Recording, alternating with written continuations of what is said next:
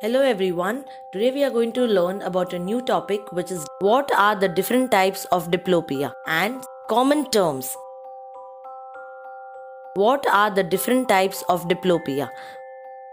What a person with diplopia sees depends on the type they have.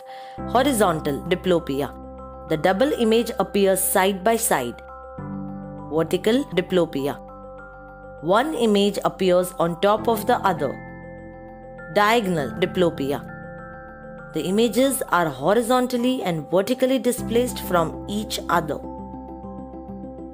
Common terms. Let's understand the common terms that we will use in this presentation. Diplopic image Diplopic image is the fainter ghost image that is the false image out of the two images of the object seen by each eye when they are not aligned properly in a particular direction. Direction of diplopic image Direction of diplopic image refers to the direction in which the object is seen double when both the eyes are not aligned properly. Crossed and uncrossed diplopia.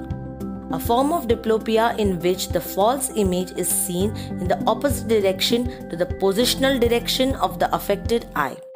Example, in exotropia, the eye turns out, image is seen moving inwards towards the nose or appears crossed. In esotropia, the eye turns in, the image is seen moving outwards away from the nose or appears to be uncrossed. The same principle is applicable when the eyes deviate or move vertically up or down or deviate and rotate diagonally inwards or outwards. The image is seen in the opposite direction to that of the deviating eye. Homonymous diplopia a form of double vision in which the false image is on the same side as the affected eye.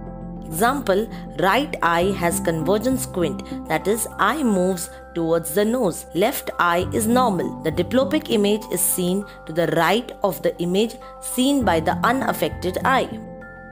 Heteronymous diplopia a form of double vision in which the false image is seen on the same side as the unaffected eye.